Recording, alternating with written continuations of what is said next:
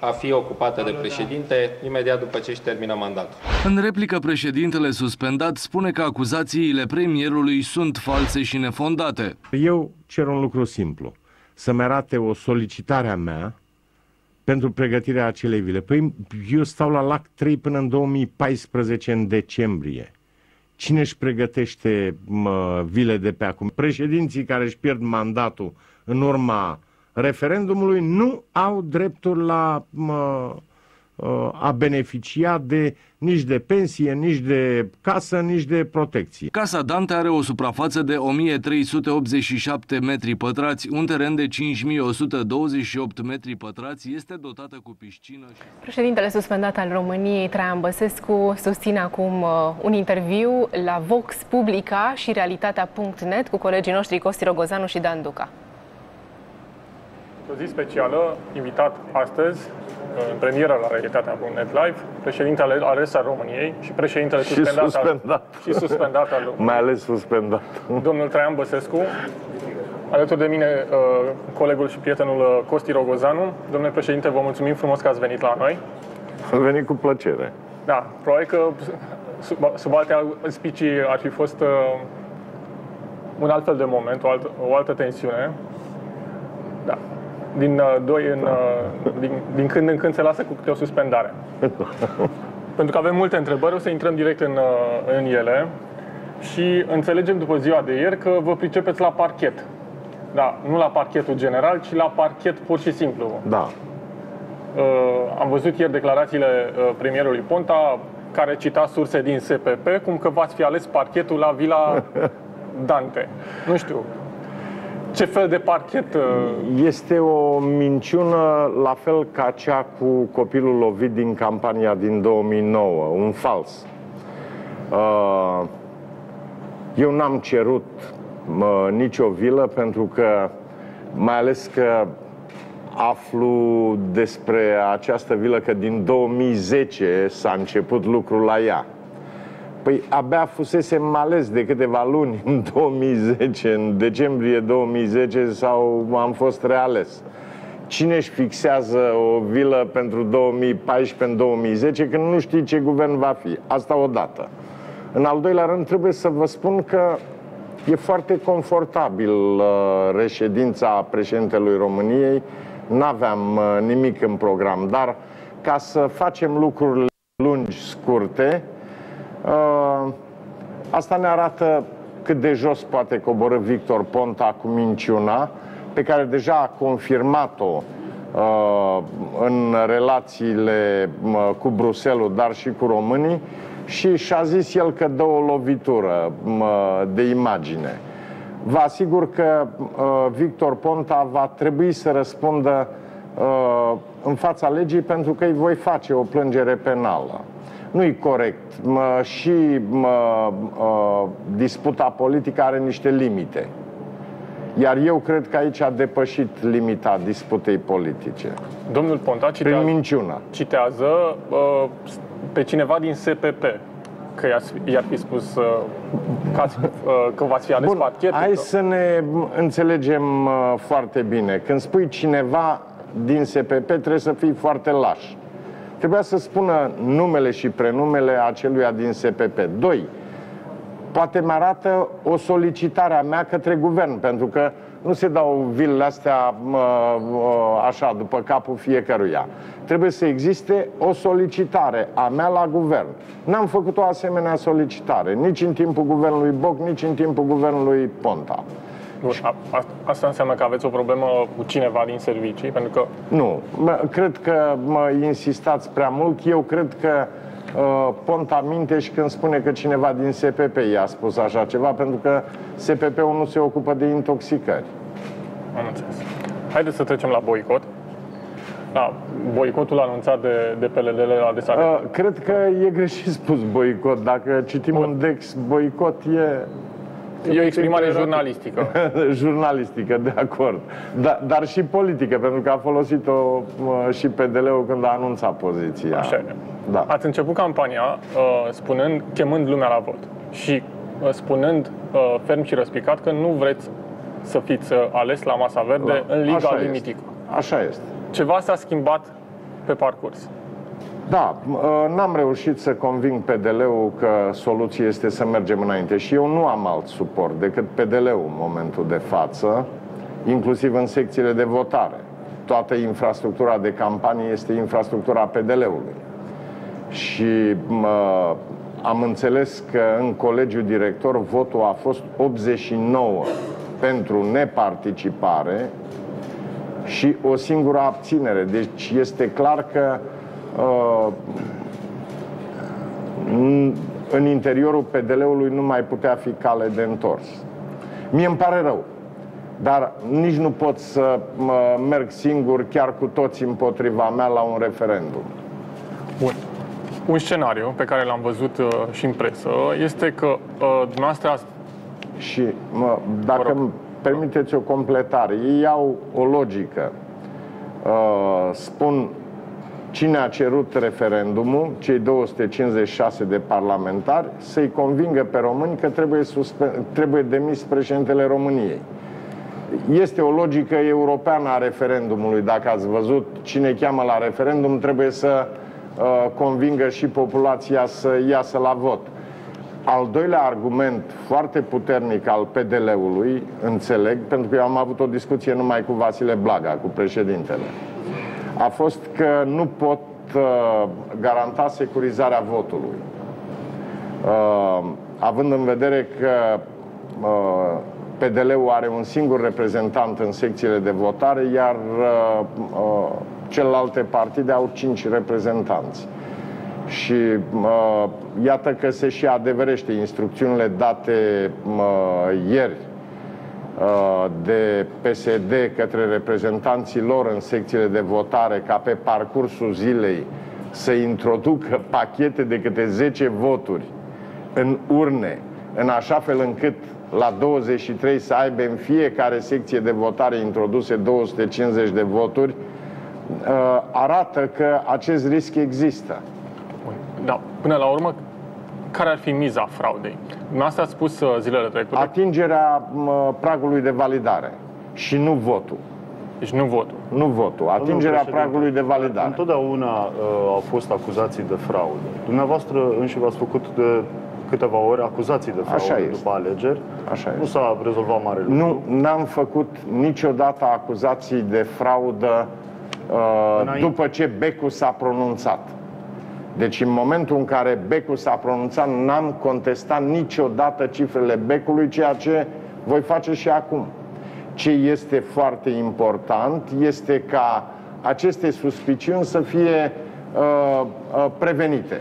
Spre exemplu, eu dacă aș fi Bec, pe această informație care e publică deja, legată de instrucțiunile date de uh, PSD, aș lua niște măsuri și a spune foarte clar, fraților, unde nu corespunde numărul de cetățeni care au, sunt în listă cu numărul de voturi pe care le găsim în urnă, se anulează toată, toate voturile din, din secția de votare. Pentru că nu putem tolera un referendum atât de important care vizează președintele ales al României să fie viciat de fraudă. Dar nici nu putem acuza înainte să se întâmple. Nu, dar preventiv avem voie să spunem atunci când știm și chiar trebuie să spunem.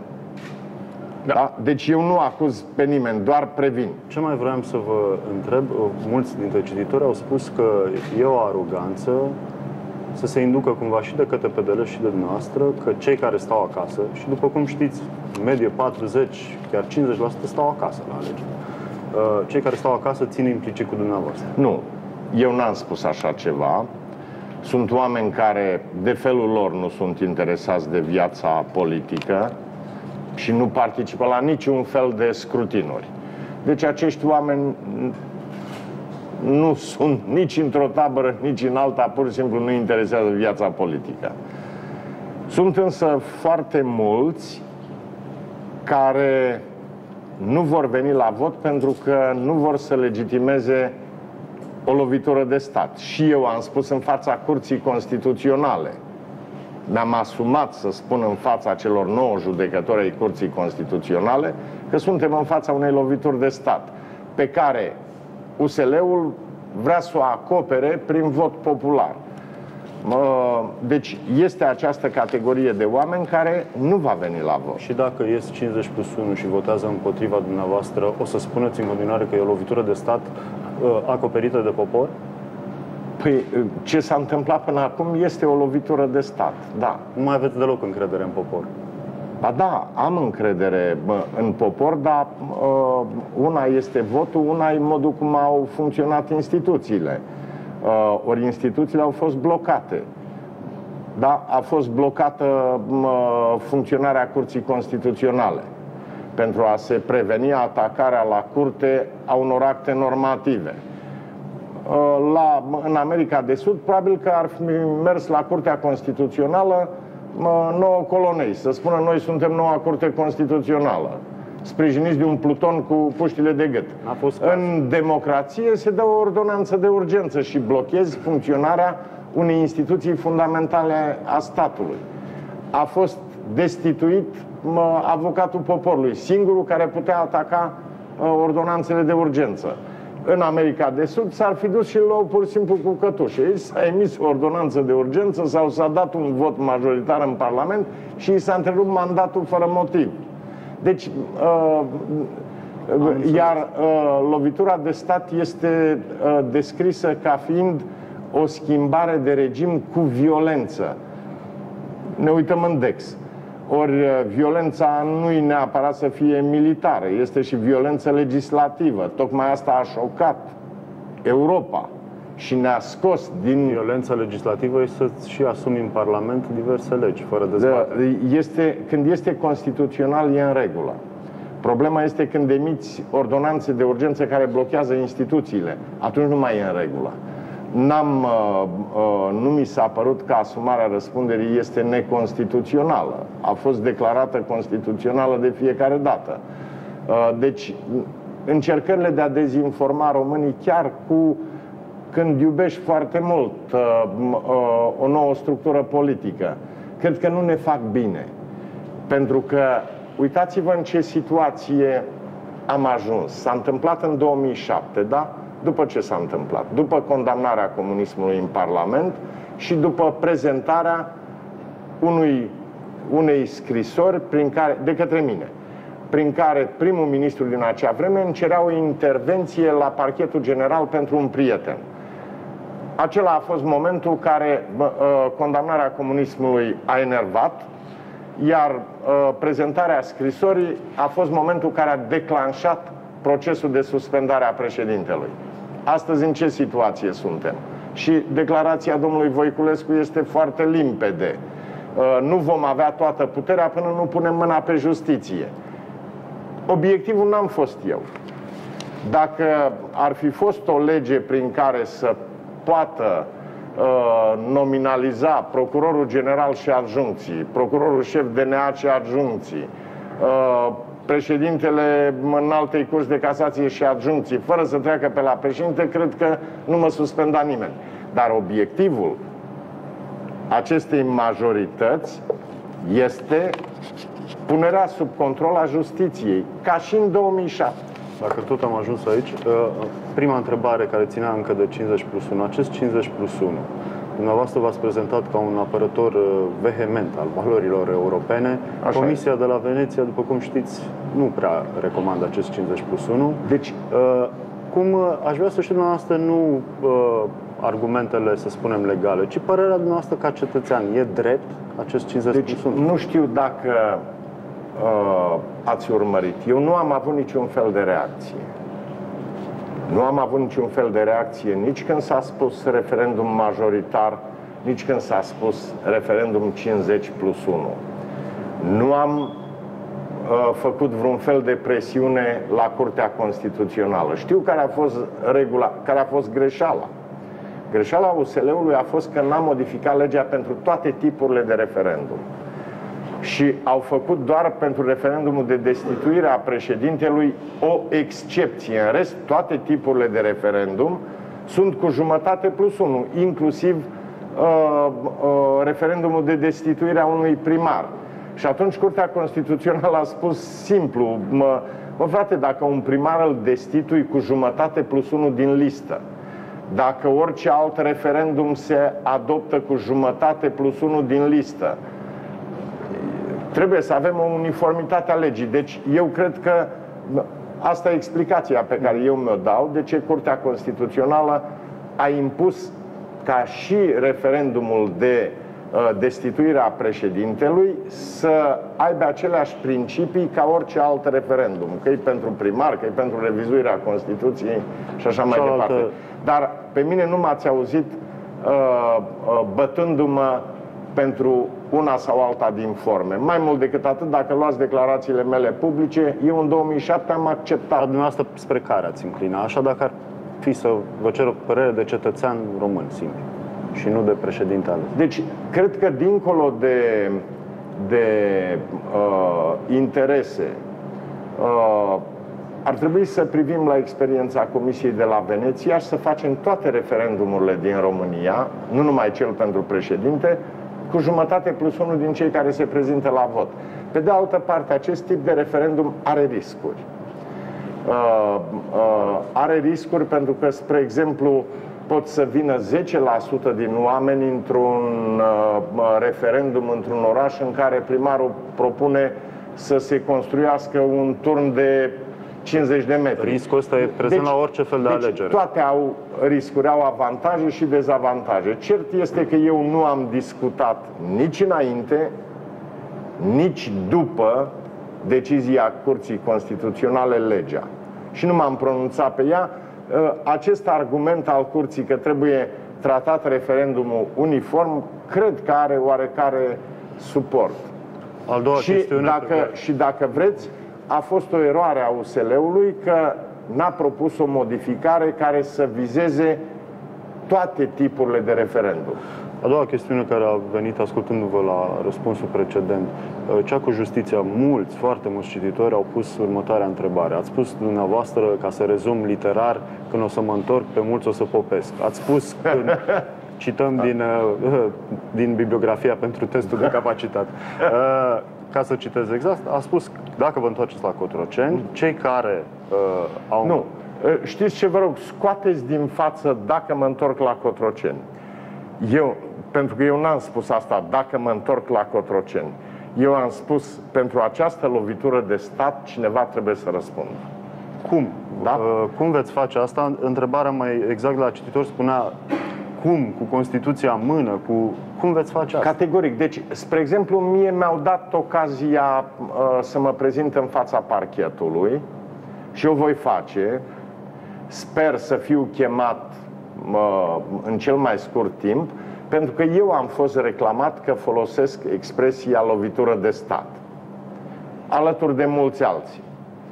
Și uh, mă voi duce la uh, parchet imediat ce sunt citat și voi aduce toate argumentele pe care le-am adus și în fața Curții Constituționale, că suntem în fața unei lovituri de stat. Știți ce? Priviți la, la o realitate care o să ne spună imediat uh, uh, unde suntem. Deci, în 2007, după ce am pierdut majoritatea în Parlament, pentru că n-am fost un supus al majorității parlamentare, am fost suspendat. Statul n-a funcționat cum trebuie și nu poți să schimbi un președinte ales, să-l suspenzi din funcție doar pentru că nu place unei majorități parlamentare. Acum s-a întâmplat același lucru. Imediat ce n-a mai fost o majoritate parlamentară, am fost suspendat din aceleași interese, controlul justiției. Este normal într-un stat democratic să se întâmple așa? De ce președintele trebuie să aibă majoritate? Sau dacă n-are, să devină un supus al acelei majorități. Adică trebuia să-l primesc pe domnul Voicu și să-i dau o garanție că nu-l mai arestează nimeni. Dar chiar numai dumneavoastră puteți garanta pentru justiție. Nu mai deci... există nimeni de la USR.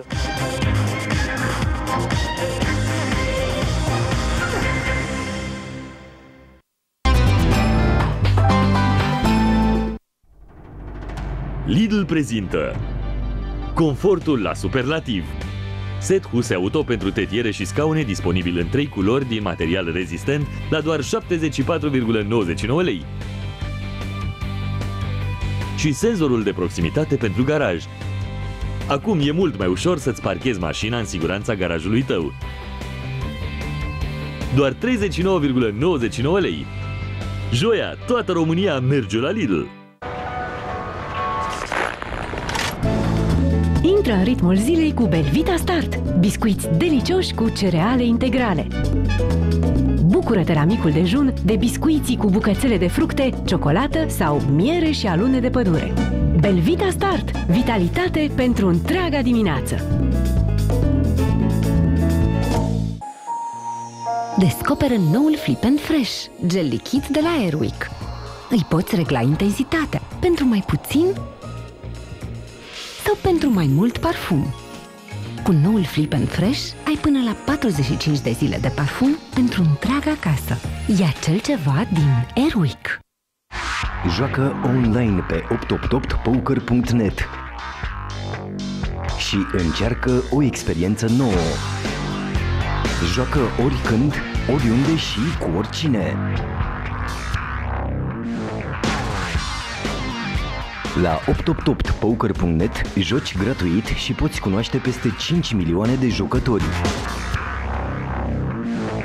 888poker.net Noi jucăm diferit.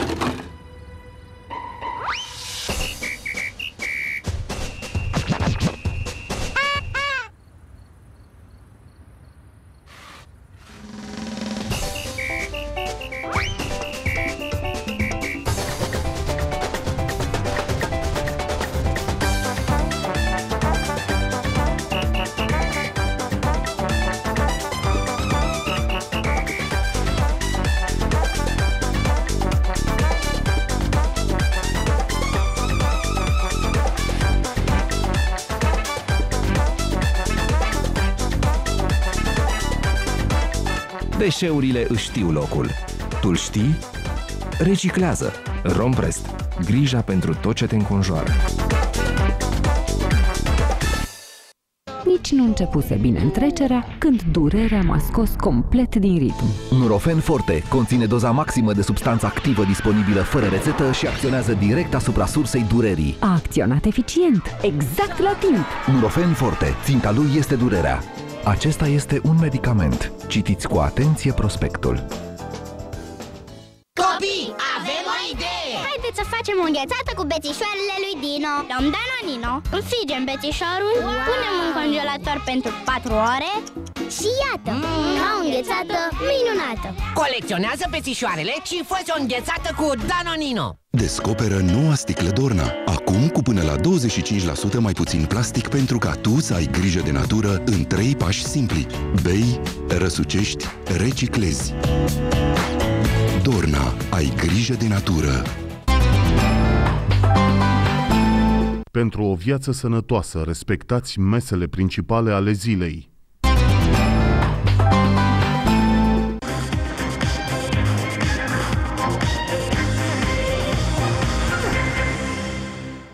Când a fost vorba de formarea guvernelor, uh, chiar împotriva unor uh, abordări de imagine, am fost abordări negative pe imagine, am spus care e interesul? Să avem guvern stabil. Știu că voi fi tocat, că am luat un EPR sau că am luat PC-ul acum câțiva ani sau că am făcut alianța cu PSD-ul la formarea guvernului. Dar aici este zona în care obligatoriu un președinte, vorbesc de un președinte pentru că asta e Constituția noastră, trebuie să aibă capacitatea de a face compromisuri ca să asigure țării un guvern stabil, atât cât se poate, în condițiile date de alegeri. Uh, dar ai cealaltă listă în care, care și ei destul de lungă, în care nu poate să încapă compromisul. Bun. Știți, și lista aia începe. La punctul 1 este securitatea națională. Funcționarea serviciilor, funcționarea armatei, funcționarea tuturor structurilor de securitate și politicile. Aici, politicile de securitate, aici nu există compromis. Imediat după securitatea națională, la numărul 2, este justiția, unde iarăși nu poți să faci compromisuri. Dacă vrei să, să ai sentimentul că ți îndeplinești menirea de președinte ales. Asta e zona unde nu se mai poate. În cealaltă, la, în zona politică, se poate, ca dovadă.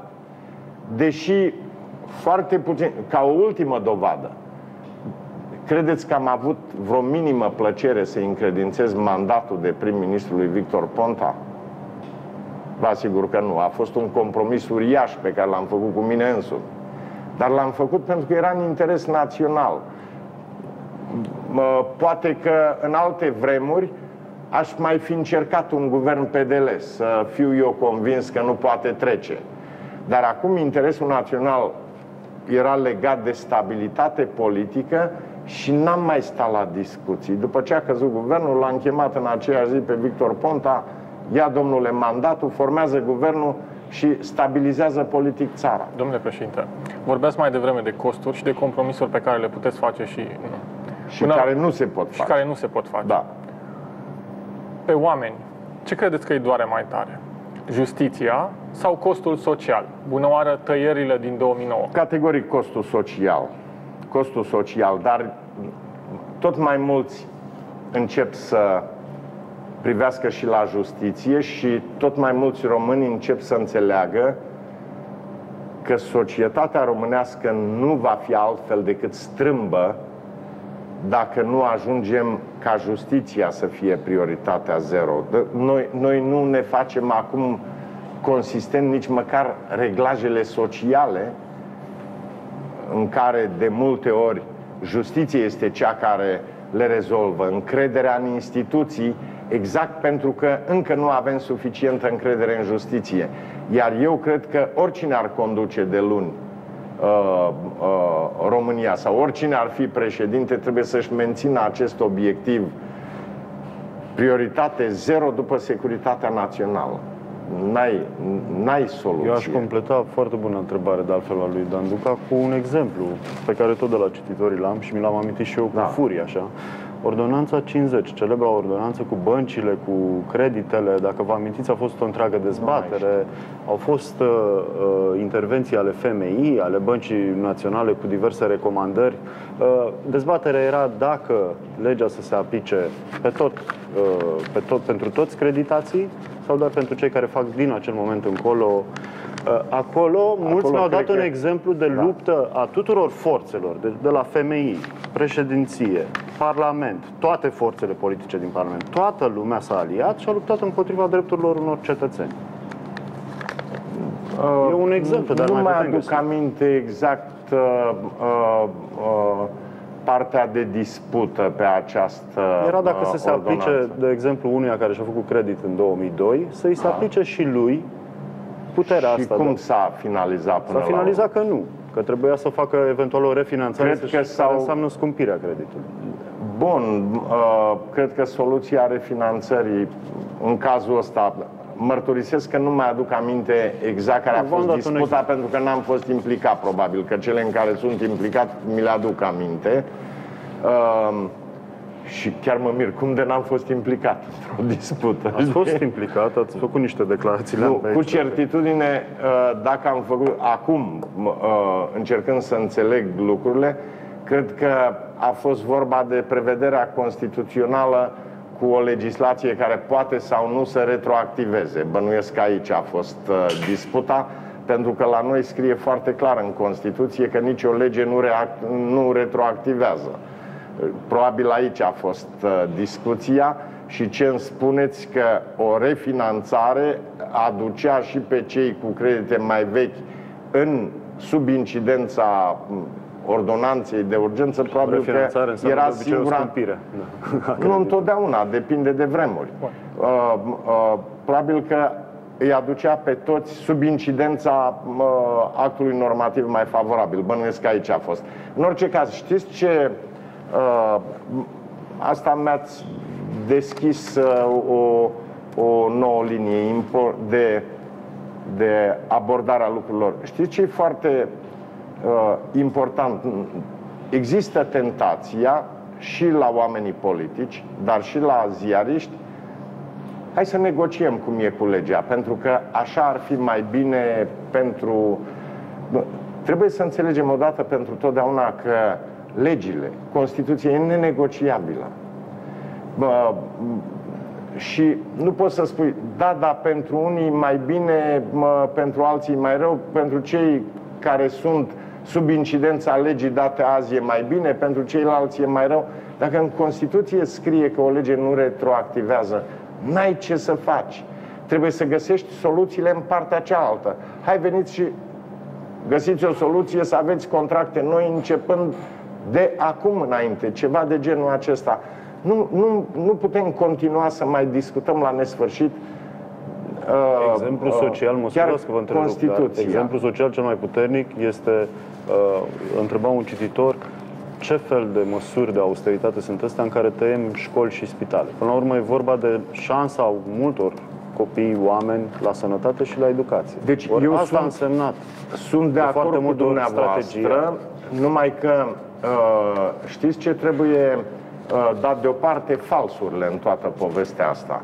Spre exemplu, Le dăm la o parte, tot rămâne că să... Nu, da, dați-mi voie, numai puțin. Spre exemplu, când ai ceva pe care scrie spital, și omul spune am un spital aproape, la un kilometru. Dar tu constați că acolo e o mortalitate uriașă pe cazuri minime mă, mă, clinice. Pe cazuri care nu justifică. Uh, tu, ca Minister al Sănătății, te duci și vezi de ce și constați. N-am anesteziști, n-am medichirurg, n-am... Omul crede că are spitalul aproape și de fapt are intrarea în cimitir de multe ori. Uh, ideea atunci a fost hai să fie lăsate și nu a fost ideea mea, nu mă credeți, un fac totul. Dar trebuie să vă spun că mi s-a părut corect, adică uh, oamenii de special, specialitate au spus hai să facem din spitalul ăsta un dispensar mai mare în care omul să primească un prim ajutor dar nu mai dăm rang de spital pentru că mor oameni aici cu, în situații în care n-ar trebui să moară. Ori din cauza dotării, ori din cauza lipsei de personal calificat și așa mai departe. Nu cred că... Uh, bun, uh, și un deficit uriaș de explicare și... Uh, pentru că eu știu atunci s-au, uh, uh, s-au rearanjat inclusiv ambulanțele ca să se poată face față unei astfel de abordări, s-au cumpărat niște elicoptere, deci nu sunt lucrurile atât de uh, neclare cum par când nu intrăm în dedesubtul lor. Ceea ce nu, eu nu susțin că uh, a fost bine sau au fost potrivite toate închiderile de spitale. Dar probabil că abordarea Ministerului Sănătății n-a fost una lipsită de un temei. Ce, ați avut senzația că s-au redus costurile uh, prin închiderea acestor spitale sau că lucrurile Nu știu, deci mă băgați într-o zonă care nu poate fi la un președinte. Știu Haideți eu, urmăresc la... eu costurile din spitale. Ce vă pot spune cert este următorul lucru. Nu din spitale, dacă din... s-a văzut în macro. Deci vă măsură. pot spune cert următorul lucru. Că avem o mare problemă cu asigurarea cheltuielilor pentru sănătate, fie că vorbim de cheltuielile alocate de Casa de Sănătate spitalelor sau cheltuielile alocate pentru medicamente. Iar menținerea acestui sistem nu duce decât la deprecierea uh, asistenței medicale. De aceea, soluția corectă este reorganizarea sistemului de sănătate și implicarea sistemului privat, care poate veni cu mai mulți bani. Vă dau un exemplu eu nu pot avea o asigurare suplimentară de sănătate în România și după lecția cu operația de la Viena, care a costat enorm față de uh, uh, situația în care aș fi fost asigurat, de atunci am o asigurare internațională să mă pot opera pe banii asigurătorului plătind o uh, asigurare suplimentară. Haideți să ne întoarcem la suspendare și la o întrebare uh, legată dacă ea ar fi putut fi evitată. Și evitată nu acum, ci undeva la Convenția PDL din 2011. Și întrebarea este dacă n-ar fi fost atunci oportun ca președintele de atunci, Emil Boc, să facă pasul înapoi de la Palatul Victoria, de la, din fruntea PDL, iar scenariul Mihai Răzvan Ungureanu, apărut în iarnă, să fie uh, apărut atunci. Uite, Dumneavoastră între- l-a susținut pe Emil Boc, public Da, atunci. uh, l-am susținut pentru că a fost un om de onestitate extraordinară față de România, în primul rând, și a sacrificat tot ca să evităm prăbușirea în 2010 și probabil în timp, după ce ne calmăm, o să recunoaștem curajul lui Emil Boc din acea perioadă și îl scoatem din uh, etichetările nedrepte pe care le-a primit atâta amar de vreme. Uh, cred că mă băgați într-o chestiune complicată. Ceea ce eu am spus tot timpul PDL-ului a fost oameni buni, e perioadă de criză, va trebui să schimbăm două, trei guverne până trecem criza. Sigur, a fost un concept foarte greu agreat în interiorul partidului și am ajuns la o menținere excesivă a unui guvern, fie el și onest, să spunem, din punct de vedere al datoriei față de uh, țară, dar cu destule lipsuri pe imagine, pe mă, mă, declarații, pe aspect, pe tot ce vreți. Uh, Deci, în perioadă de criză, într-o țară uh, încă insuficient consolidată din punct de vedere democratic, uh, bine este să reușești să schimbi două, trei guverne ca să treci perioada dificilă. Nu s-a reușit asta și uh, să știți, vă spun fără alte explicații, nu eu am fost responsabil de acest lucru. Când m-am dus în aprilie 2011 la o discuție cu conducerea PDL-ului, pentru că mă interesa, ei susțineau guvernul, uh, și le-am spus, trebuie să schimbăm guvernul, rețineți, aprilie 2011. Cu o lună înainte de convenție. Atunci. Nu, uh, convenția cred fost că a în fost mai mai 2011. în mai, da. Le-am spus, trebuie să schimbăm guvernul. Întâi au spus da și până am avut a doua discuție, a fost nu. Ce socotel și-au făcut, nu-i chiar greu de imaginat, dar este clar că noi trebuia să schimbăm două, trei guverne în timp de criză. Bun. Tot de legat de o schimbare de guvern. Am văzut o declarație a domnului Ponta, care spunea că dacă Emil Boc n-ar fi fost schimbat de la Palatul Victoria, probabil că USL n-ar fi câștigat uh, majoritatea în Parlament și n-ar fi obținut nici guvernarea, nici suspendarea dumneavoastră n-ar fi apărut. Bun, acum nu mă faceți un comentator al domnului Nu. uh, Ce- Ponta, dar uh, categoric una este să fi fost una era dacă președintele partidului era în fruntea guvernului și avea alt dialog cu parlamentarii probabil uh, și alta uh, un prim-ministru mai distant cu care nu aveau cum să-și plângă ofurile din teritoriu, pentru că noi ne-am obișnuit să-i facem pe parlamentari în toate felurile că cer bani pentru teritoriu. Ei nu cer bani să-i ducă acasă.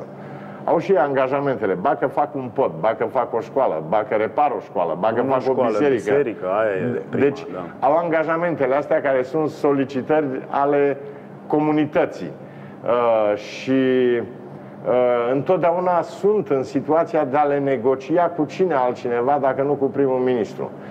Uh, probabil că atunci când și electoratul va înțelege că parlamentarul nu este un primar mai mic sau mai mare, sau un primar cu acces la mă, bugetul de stat, e unul local și unul cu acces la bugetul de stat. Uh, Nu va mai exista această presiune. Până una alta însă, trebuie să evoluăm împreună, și politicieni și electorat. Pentru că se duce parlamentarul în colegiu și spune, aha, n-ai făcut biserica.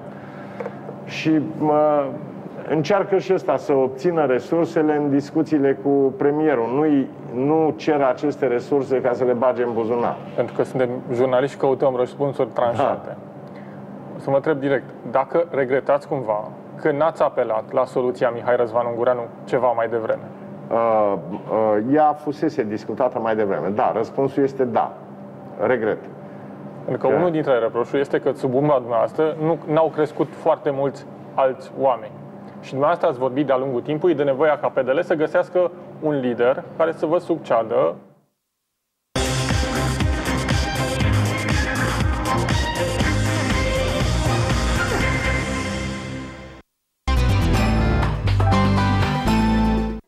Simțeam o furtună în mine, controlându-mi sufletul, mintea, emoțiile. Depresia te poate face o povară pentru cei din jur. Tulburările minții noastre pot dărâma ce am clădit prețios. Relațiile cu oamenii, iar să-ți găsești un loc de muncă într-un astfel de moment, pare o misiune imposibilă. Ești angajator, poți ajuta și ai și avantaje. Află-le pe fărăetichetă.org. Proiect cofinanțat din Fondul Social European prin Programul Operațional Sectorial Dezvoltarea Resurselor Umane. Ioana are 12 ani și locuiește împreună cu mama, frații ei și bunicii. Tatăl nu mai este alături de ei. Sunt 2 ani de când n-am mai văzut pe tatăl meu. Țin la el, dar uh, nu o să el niciodată nu ce a făcut. A lăsat pe altă patru copii. Ioana a avut până acum patru intervenții chirurgicale pe creier și trebuie să meargă la control din 6 în 6 luni. Mi-e frică să văd doctorii și când văd copiii că stau acolo pe pat și nu se mișcă, mi-e frică să nu ajung din nou ca ei. Un SMS la 8848 poate ajuta un copil ca și Ioana să beneficieze de sprijinul unui asistent social din cadrul proiectului UNICEF. Fără sprijinul asistentului social și al comunității, Ioana nu ar mai fi putut merge la școală, să-și continue tratamentul medical atât de necesar și să-și facă controlele periodice. Sunt mii de copii ca Ioana, care au nevoie urgentă de un asistent social. Trimite acum un SMS la 8848 și asigură-te că niciun copil nu va mai suferi în tăcere, fără a fi ajutat.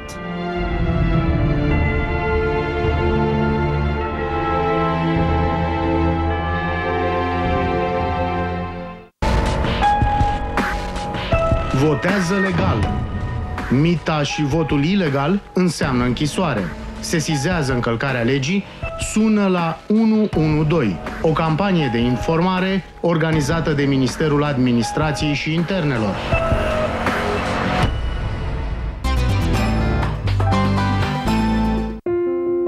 A lăsat în urmă orașul un salariu decent și s-a stabilit într-un sat din Giurgiu. Dacă Dumnezeu mi-a oferit șansa asta de a mă afla între copii, înseamnă că m-a trimis acolo cu un rost și probabil că rostul meu este să schimb ceva. Profesoara acum, Ana Maria Gomboș, s-a pus pe treabă. A căutat, a cerut ajutorul și l-a primit. Oameni generoși au răspuns apelului ei. Cu banii strânși la un concert caritabil, Ana Maria a reușit să împlinească visul copiilor din sat. Să aibă biblioteca lor,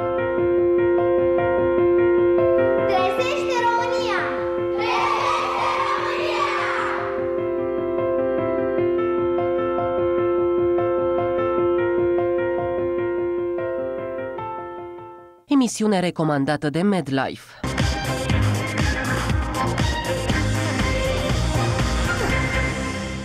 Stalinistă abordarea uh, să guvernăm după sondaje. Deci dumneavoastră îmi A, spuneți nu. așa. Uh, nene, asta spun. când uh, ajungi la uh, 15% în sondaje, noi nu mai avem nevoie de președinte. Știți? Pot să vă Când- spun altfel, ați fost tot an la putere și nu ați reușit să impuneți, inclusiv de multe ori poporul v-a cerut o schimbare de Constituție, nu ați reușit să impuneți, nu știu, cu mijloace noastre, în 8 ani de zile, să faceți, acea- a- fa, faceți această Constituție și mai puțin ambiguă, inclusiv în ce Domnul privește Rogozanu, președinte. chiar, chiar uh, uh, uh, eu... Eu vă provoc, așa am că avut, și asta... Nu, nu e provocare. Uh, Știți, și provocările sunt provocări și provocări. Uh, unele sunt uh, uh, corecte în modul cum sunt puse lucrurile și altele, Altele incorrecte. staliniste, da. da. De ce nu? Uh, Deci dumneavoastră îmi reproșați uh, uh, un mandat prea forte și acum îmi spuneți Nu, de asta ce? nu eu v-am reproșat. Nu? Eu vă reproșez un mandat Parcă moale dumneavoastră acum, vorbeați din nou. de, vorbeați de ordonanțe, de asumări de răspundere. Uh, deci, uh, nu, nu, nu poți să-i impui. Asta trebuia, că așa e în democrație. Eu am întrebat poporul cu revizuirea Constituției, votul a fost covârșitor și a fost referendum validat, în favoarea modificării Constituției, iar clasa politică a refuzat acest lucru. Eu sper, eu sper că vor fi sancționați toți la alegerile următoare, dar mie nu-mi puteți reproșa nimic. Eu am trimis și proiectul de revizuire în acord cu rezultatul referendumului din 2009. Asta e tot ce am putut să fac. Degeaba coaliția cu jumătate de gură, așa, de gura mea, de presiune publică, a susținut hai să revizuim Constituția după referendum, dar USL-ul a refuzat și la asta îți trebuie două treimi, nu ți ajunge jumătate plus unul în Parlament. Mai avem un sfert de oră și haideți să trecem la scenarii. Și pentru că vorbeați de uh, pericolul crizei în varianta în care se organizează alegeri prezidențiale anticipate. Nu pericolul crizei. Ați- nu, ați- haideți să ne înțelegem. A nu avea președinte este o criză A spus Politică. acum câteva zile că abia acum începe criza. economică. Da. Ce ați vrut să spuneți, vă- domnule? Păi spun ce văd. Vă Uh, referați doar la România sau la toată Europa? Nu, Știți, la- do- domnul la Antonescu Europa. spune că dacă dumneavoastră rămâneți președinte, criza o să continue. Dumneavoastră spuneți că dacă pierdeți uh, la referendum, criza o să continue. Bun, Pe cine credeți? abordarea e simplistă. E adevărat, Eu dar- spun altfel. Dacă avem stabilitate politică, avem șanse să gestionăm criza, dacă pe fondul crizei nu avem stabilitate politică, îndreptăm țara către o situație extrem de grea. Chiar aș folosi dezastru. Deci am uh, uh, responsabilitatea să spun că dacă vom continua să fim în criză politică, îndreptăm țara spre dezastru din mai multe motive. Vă pot aduce toate argumentele din lume pentru asta. Uh, dar criza pare a reizbucni și de data asta mult mai puternic. Uh, uitați-vă la Spania, numai ce a primit 100 de miliarde pentru sistemul bancar și a izbucnit o altă criză în Spania. Criza de încetare de plăți a regiunilor autonome. Iar mă, regiunile autonome au început să ceară guvernului bani pe care guvernul nu-i are, că îi dădea băncilor. Deci va trebui un nou împrumut sau începe o extindere extrem de puternică a crizei în Spania. Grecia a primit semnalul de la Fondul Monetar Internațional nu v-ați îndeplinit obligațiile, nu vă mai finanțăm. Italia, uh, regiunea autonomă Sicilia a anunțat că este în încetare de plăți, cere bani de la guvern. Toate astea ne arată că urmează o nouă fază a crizei. În România, hai să o luăm cu puțin mai departe, în Statele Unite, începe criza porumbului datorită secetei. Cel mai mare furnizor de porumb de pe planetă a avut o secetă teribilă și prețurile la porumb cresc, ceea ce generează creștere de prețuri și la carne și la orice, pentru că porumbul e în principal un aliment. În România avem secetă. Producția agricolă va fi cu 30% mai mică, cel puțin 30%, decât în 2011. În România, Uniunea Europeană a suspendat plățile pentru toate programele de dezvoltare regională. Fie că sunt programe uh, pe transporturi, pe mă, mediu, Și pe... actualul guvern vă spune că asta e moștenirea lăsată de PDL. Bun, după două luni nu mai poți să spui asta, mai ales unuia ca mine, care știe foarte bine că s-a cerut și s-a convenit cu Comisia Europeană un program de credibilizare a sistemelor de verificare a uh, implementării uh, proiectelor aprobate. Programul a fost dus până în aprilie și mai-iunie, pentru că scadența era la 30 iunie, Guvernul n-a putut prezenta soluții credibile de punere sub control a cheltuirii banilor europeni, drept pentru care uh, nu se mai fac plăți. Deci, m- uh, deja uh, suntem într-o epocă de responsabilitate a noului guvern, pentru că ultimele două luni care au dus la, uh, uh, încet, la suspendarea plăților, e o suspendare tacită. Uh, au fost sub guvernul Ponta. Trebuia continua ce era de făcut. Deci, criză.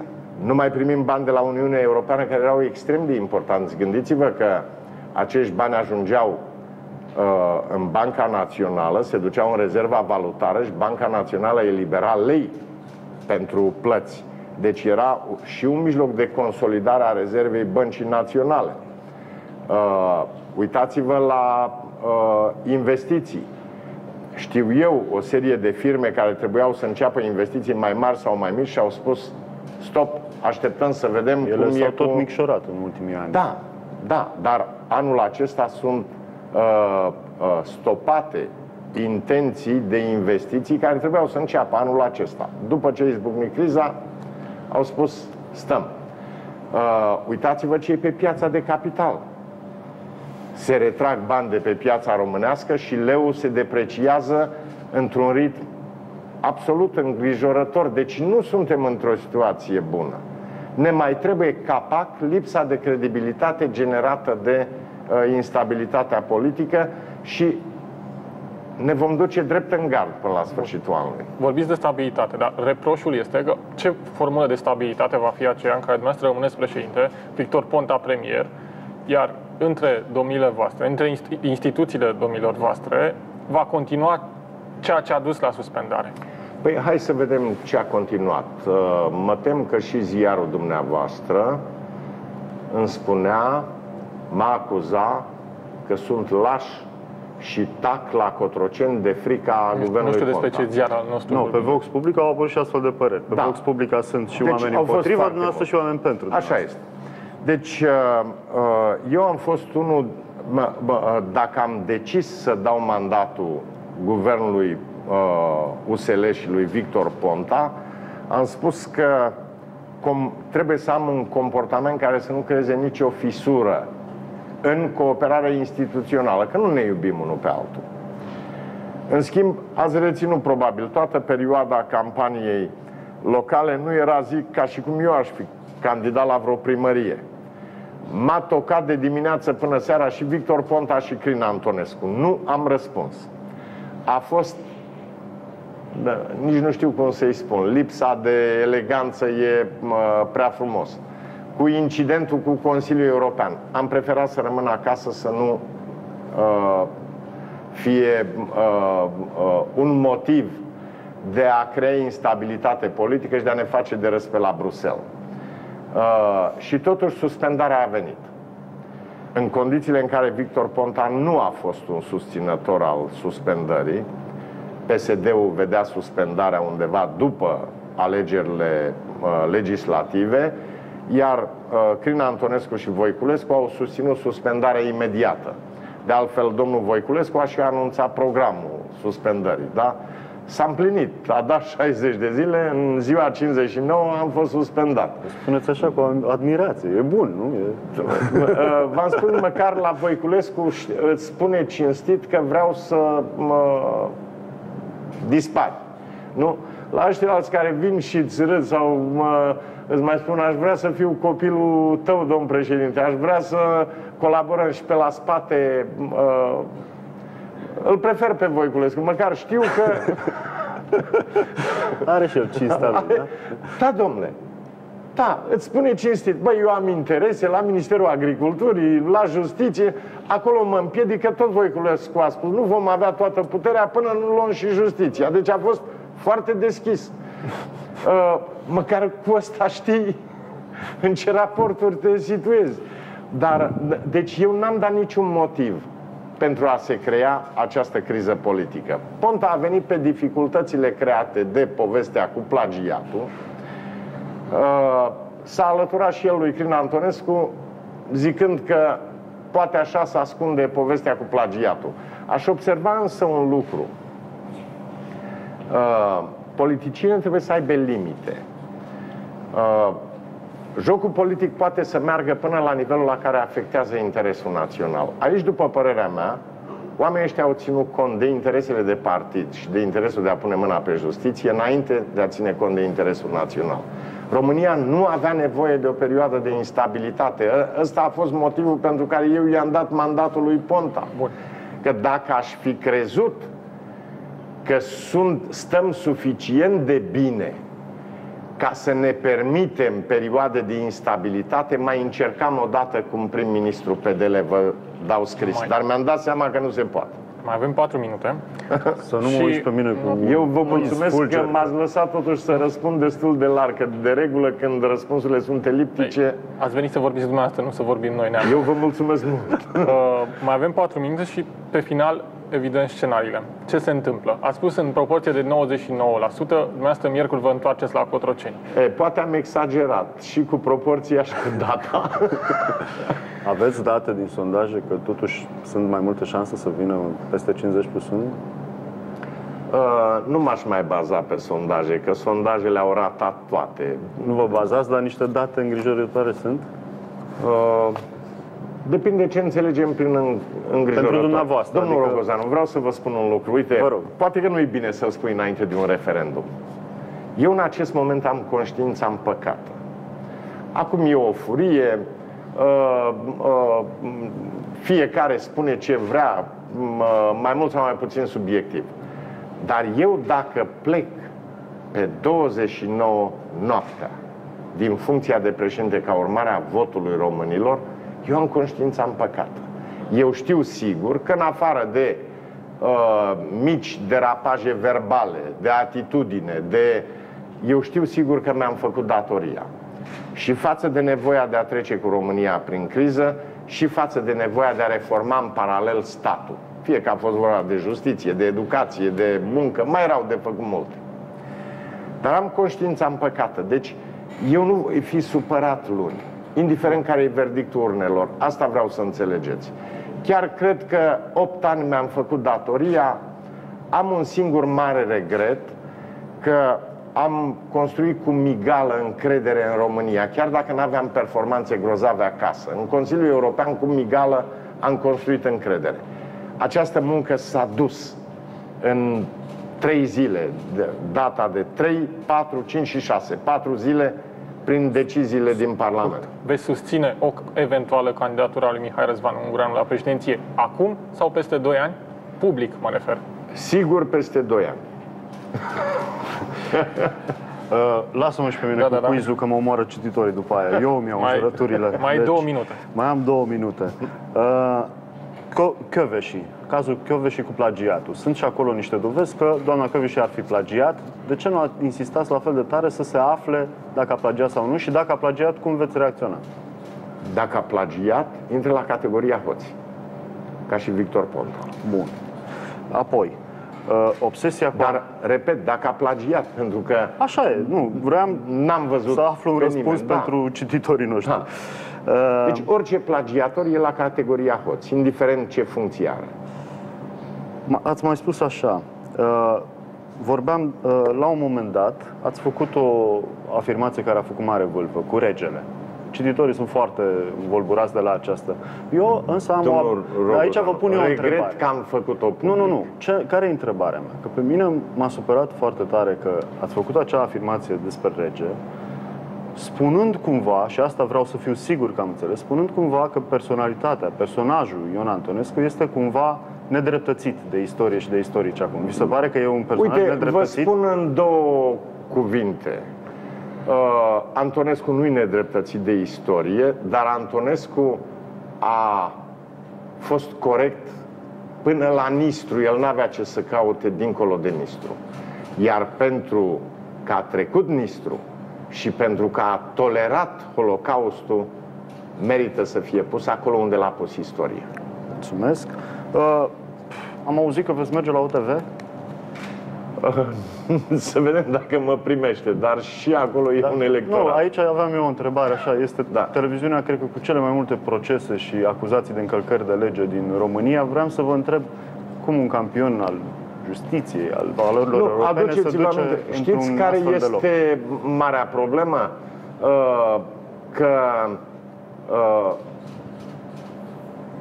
indiferent ce canal este, are un public. Eu trebuie să mă adresez acum acelui public și sunt cetățeni români Simțiți pe PDD-ul aproape?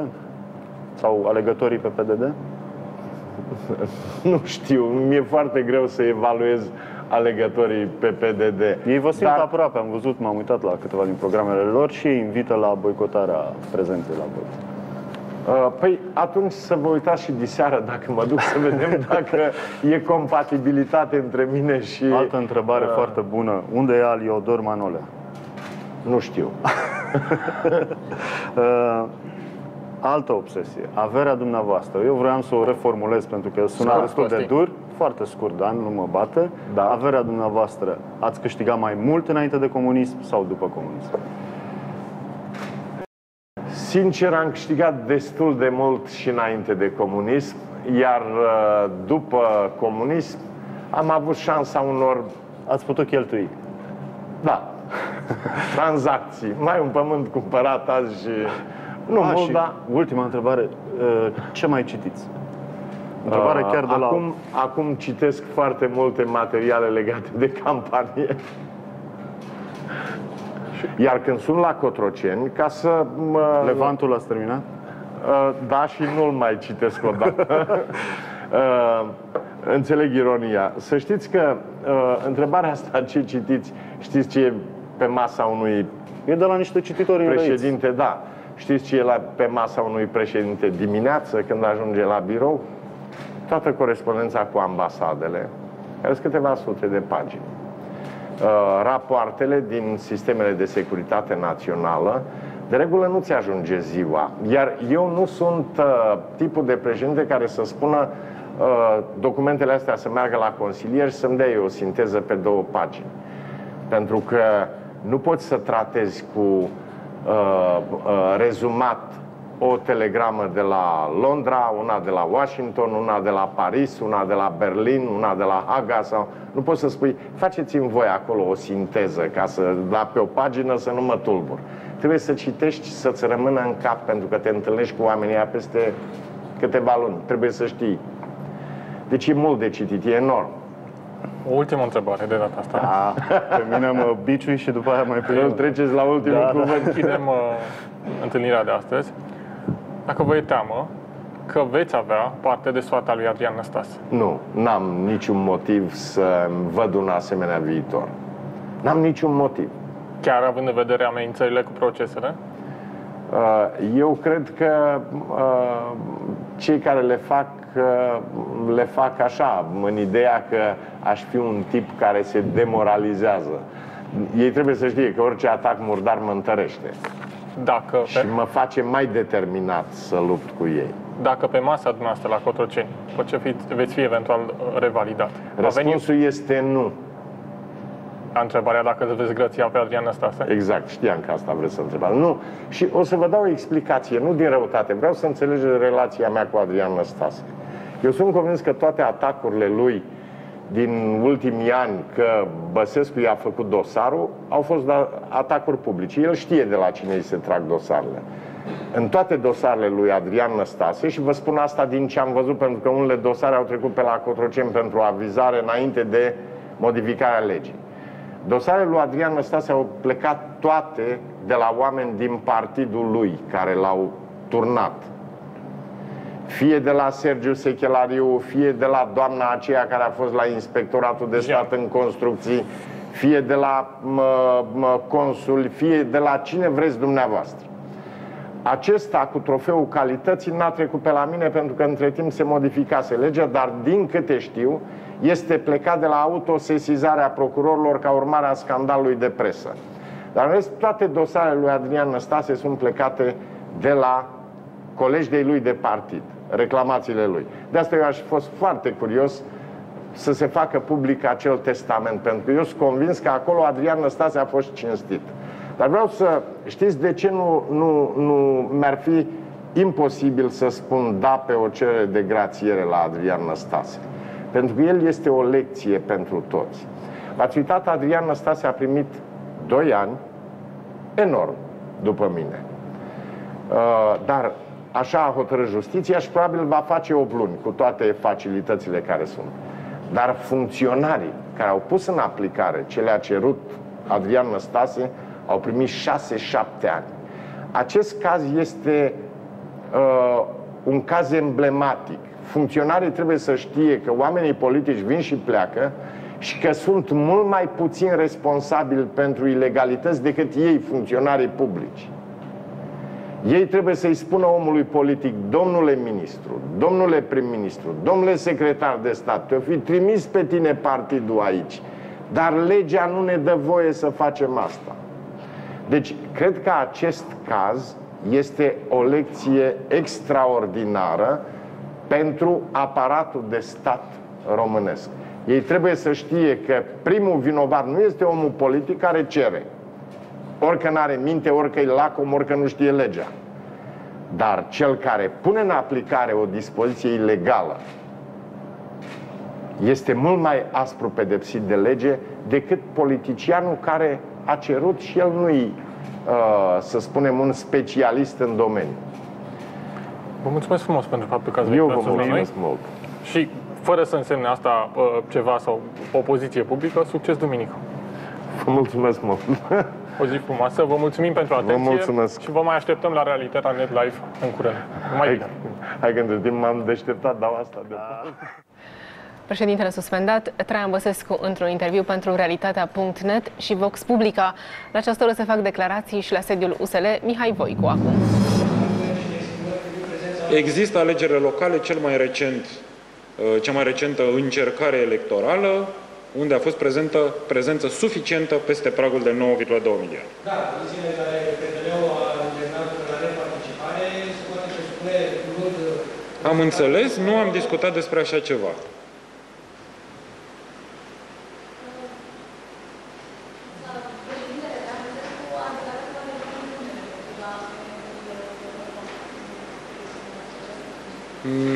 Eu nu mi-amintesc că în România adevărul